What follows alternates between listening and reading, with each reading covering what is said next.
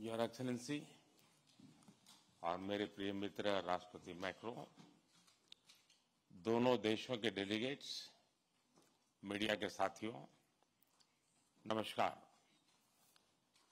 Paris जैसे खूबसूरत शहर में इस गर्मजोशी भरे स्वागत के लिए मैं राष्ट्रपति मैक्रो का आभार प्रकट करता हूँ।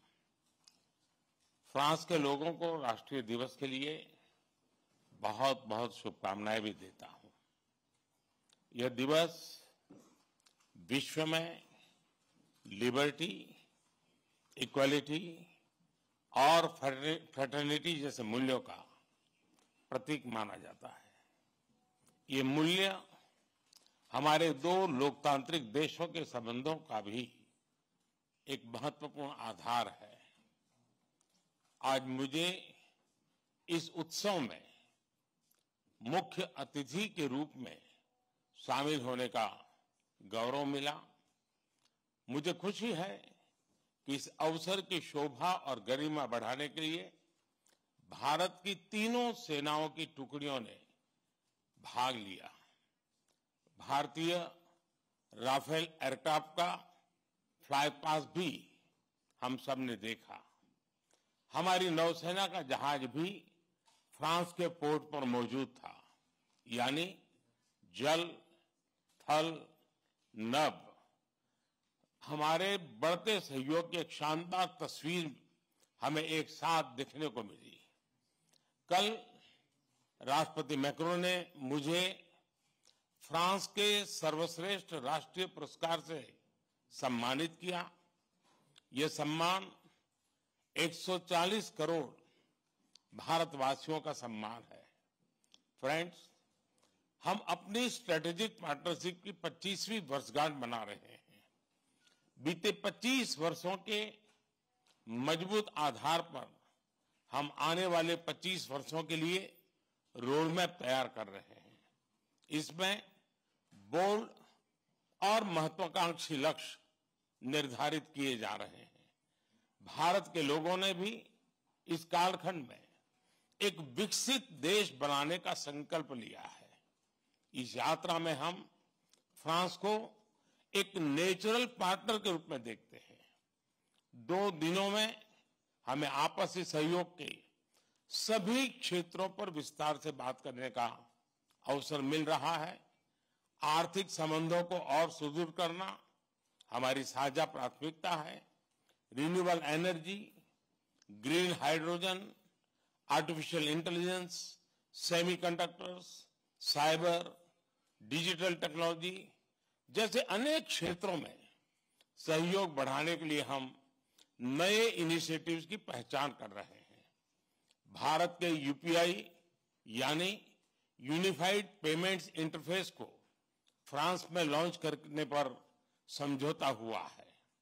हम दोनों देशों के स्टार्टअप और इनोवेशन इकोसिस्टम को आपस में जोड़ने पर बल दे रहे हैं। समान विचारधारा वाले देशों के साथ मिलकर हमें टेक्नोलॉजी सप्लाई चेन्स के लोकतंत्रीकरण के लिए लगातार काम करना चाहिए। क्लाइमेट चेंज और पर्यावरण सुरक्षा हमारी साझा और मुख्य प्राथमिकता रही है। इस दिशा में हमने पहले ही इंटरनेशनल सोलर अलायंस स्थापित किया था। जो अब एक मूवमेंट बन गया है, अब हम ब्लू इकोनॉमी और ओशन गवर्नेंस के रोड मैप पर तेज़ी से काम करना चाहते हैं। सिंगल यूज़ प्लास्टिक के खिलाफ हम एक साझा पहल पर आगे बढ़ेंगे। इंडियन ऑयल और फ्रांस की टोटल कंपनी में एलएनजी के निर्यात के लिए जो लॉन्ग टर्म एग्रीमेंट हुआ है, मैं उसका स्वागत है। इससे हमारे क्लीन एनर्जी ट्रांजिशन के लक्ष्यों को बल मिलेगा। अब से कुछ देर बाद हम भारत फ्रांस सीईओ फोरम में भी हिस्सा लेने वाले हैं। दोनों देशों के बिज़नेस प्रतिनिधियों के साथ आर्थिक सहयोग मज़बूत करने पर विस्तार से चर्चा होगी। फ्रेंड्स रक्षा सहयोग हमारे संबंधों का एक मूलभूत स्तंभ रहा है।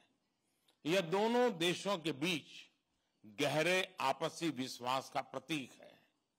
मेक इन इंडिया और आत्मनिर्भर भारत, इसमें फ्रांस एक अहम पार्टनर है। आज हम रक्षा के क्षेत्र में, भारत में नई टेक्नोलॉजी के को प्रोडक्शन और को डेवलपमेंट पर बात करेंगे। सबमरीन हो या फिर नौसेना के जहाज़। हम चाहते हैं कि मिलकर केवल अपनी ही नहीं, तीसरे मित्र देशों की जरूरतों को भी पूरा करने के लिए हम काम करें। हमारी डिफेंस स्पेस एजेंसीज के बीच सहयोग बढ़ाने की संभावनाएँ हैं। फ्रांस की कंपनियों द्वारा MRO facilities spare parts helicopter के लिए इंजन का प्रोडक्शन भी भारत में किए जाने पर हम आगे बढ़ रहे हैं। हम इसमें हमारे सहयोग को और सशक्त करने पर बल देंगे। सिविल न्यूक्लियर क्षेत्र में सहयोग को आगे बढ़ाते हुए हम small and advance modular reactors में सहयोग की संभावना पर चर्चा करेंगे। आज भारत में चंद्रयान के सफल लॉन्च पर पूरा भारत उत्साहित है। यह हमारे वैज्ञानिकों की बहुत बड़ी उपलब्धि है। अंतरिक्ष के क्षेत्र में भारत और फ्रांस का पुराना और गहरा सहयोग है। हमारी स्पेस एजेंसीज के बीच नए समझौते हुए हैं। इसमें सैटेलाइट लॉन्च सर्विसेज़, समुद्र और धरती के तापमान और वातावरण को मॉनिटर करने के लिए तृष्णा सैटेलाइट बनाने का काम शामिल है। Space based maritime domain awareness जैसे क्षेत्रों में भी हम अपना सहयोग बढ़ा सकते हैं। फ्रेंड्स, भारत और फ्रांस के बीच लंबे समय से गहरे पीपल टू पीपल कांटेक्ट रहे हैं। हमारी आज की चर्चाओं से ये संबंध और मज़बूत होंगे। हम फ्रांस के दक्षिण में, मार्शे शहर में नया भारतीय कॉन्सुलेट खोलेंगे। फ्रांस में पड़े हुए भारतीय मूल के लोगों के लिए लॉन्ग टर्म वीज़ा देने के निर्णय का हम स्वागत करते हैं।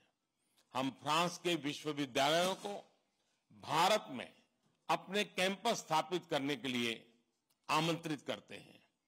दिल्ली में बनाए जाने वाले नए राष्ट्रीय म्यूज़ियम में फ्रांस एक पार्टनर के रूप में जुड़ रहा है। अगले वर्ष पेरिस में होने वाले ओलंपिक्स के लिए सभी भारतीय एथलीट्स बहुत ही उत्सुक है। इसके सफल आयोजन के लिए मैं राष्ट्रपति मैक्रो और उनकी पूरी टीम को शुभकामनाएँ देता हूँ। फ्रेंड्स, आज हम कई महत्वपूर्ण क्षेत्रीय और वैश्विक मुद्दों पर भी चर्चा करेंगे। इंडो पैसिफिक के रेजिडेंट पावर्स के रूप में, इस क्षेत्र में शांति और स्थिरता के लिए भारत और फ्रांस की विशेष ज़िम्मेदारी है। हमारे सहयोग को एक रचनात्मक स्वरूप देने के लिए हम इंडो पैसिफिक कोऑपरेशन रोडमैप पर काम कर रहे हैं।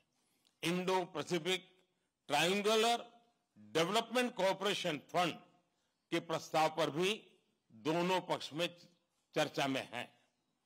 इससे पूरे क्षेत्र में स्टार्टअप्स और इनोवेशन को बढ़ावा देने के नए अवसर खुलेंगे।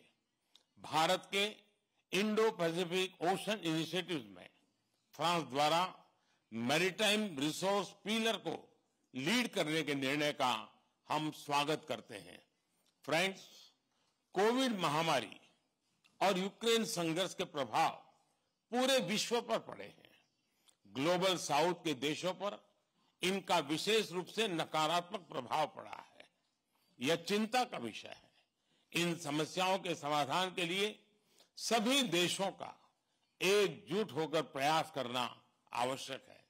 हमारा मानना है कि सभी विवादों का समाधान डायलॉग और डिप्लोमेसी के माध्यम से होना चाहिए। भारत स्थायी शांति की बहाली में योगदान देने के लिए तैयार है।